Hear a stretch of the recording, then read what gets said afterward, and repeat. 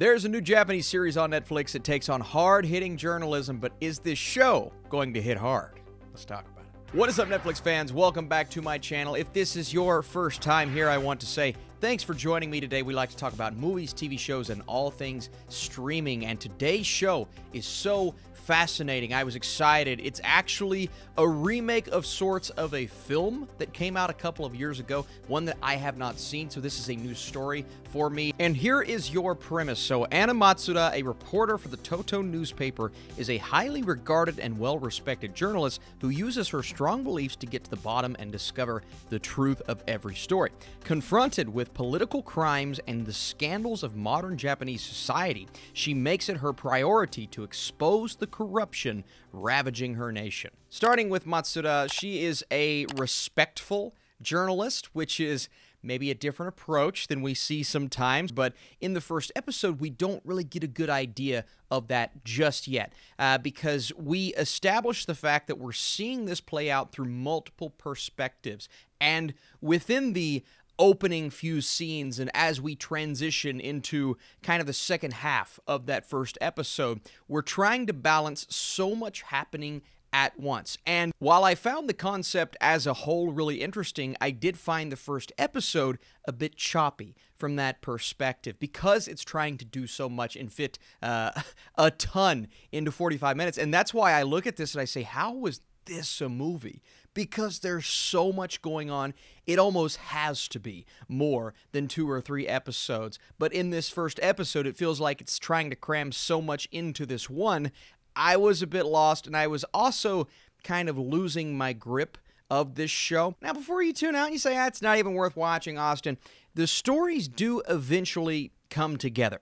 But boy, does it take a bit of time. Uh, not only is the first episode maybe a bit slower than I would have liked, uh, but the build-up also goes into episodes two and three. But this is when the story really started to hit for me. And even though episode one was a bit messy from a structural standpoint, that final scene, everything kind of starts with that. And that's the moment where I looked at this and said, okay, if that's the way we're going to go, then I'm probably going to be on board. Because what we come to realize with this series is not only are we dealing with corruption and fraud, fake news that she is trying to uncover and essentially tell the world. Now, there are moments where she has an opportunity to make things known, and sometimes she'll make the opposite decision uh, of what maybe I would have done in that situation, but you never really know until you are in the moment. And that's one thing I love about her character is she's always trying to rationalize it in her head, but she's approaching it from much more, I would say, of a moral standpoint. And you get that with a lot of these characters.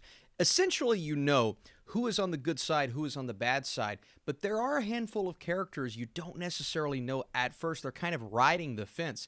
And I appreciate a show that can not only give us an interesting story at its core, but complex characters to kind of uh, push that story forward. And that's absolutely the case once we kind of get into the mindset of what's going on and exposing this corruption and governments covering up things left and right, and you sit in on those scenes. One roundtable discussion uh, that I've probably already hit on that comes in the first batch of episodes, and that's when I said, okay, this is going to get intense. And as we move, it does get intense. The atmosphere that is captured by the direction is really good. The look of the show, the cinematography is actually fantastic. I, I love the, the fact that it makes you feel claustrophobic when you need to, uh, but you're also getting some beautiful shots along the way. And uh, the one major complaint I have about the technical elements is actually the score playing underneath.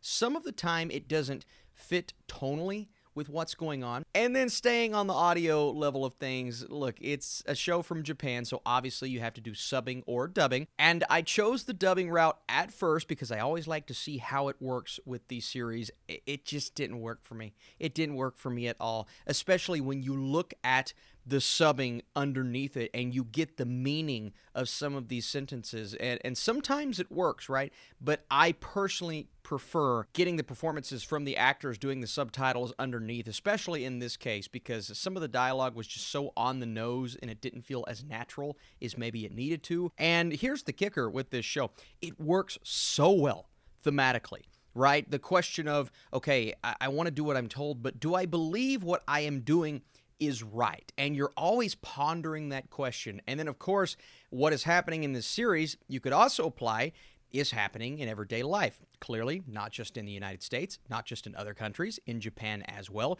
But I like seeing the parallels. Like I said, there's a lot here, probably four episodes worth of really engaging content. Everything else that happens, at times I did feel like it was stretching certain elements out, really felt it in the first episode. And even beyond that, there are moments in episodes four and five where I'm like, okay, I do wish we would move through this just a bit quicker. So that makes things feel like they're dragging as opposed to rushing, and sometimes that can be worse when you're watching a TV show. So it's not one that I'm going to recommend binging at the end of the day. Maybe go one to two episodes at a time. Portraying the little guy as these greedy corporations lie and cheat to get what they want, that is absolutely impactful.